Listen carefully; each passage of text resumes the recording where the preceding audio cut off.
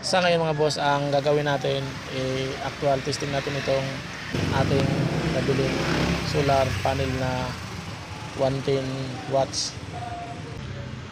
Ito mga boss, meron tayo ditong pan. Ito mga boss, radiator pan. 80 watts mga boss ang ating pan. At dito naman, meron tayo ditong regulator at ito battery. Ayan, 2 SM. Eh, papakita ko sa inyo mga boss kung gaano kalakas ang ating 110 watts na solar panel. Ito mga boss, meron siyang 14.1 volts.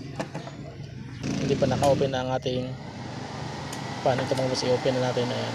Bumaba na siya mga boss. Pumalo na lang siya ng 13.6. Ayan. 13.3.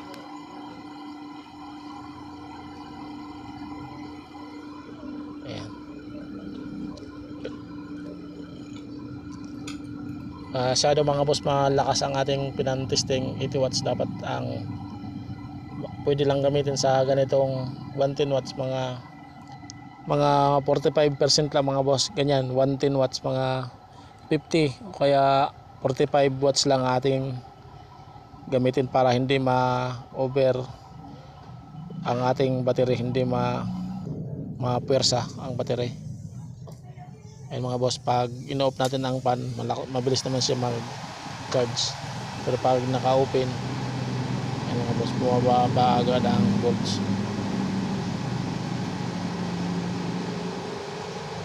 Yan lang po mga boss. Maraming salamat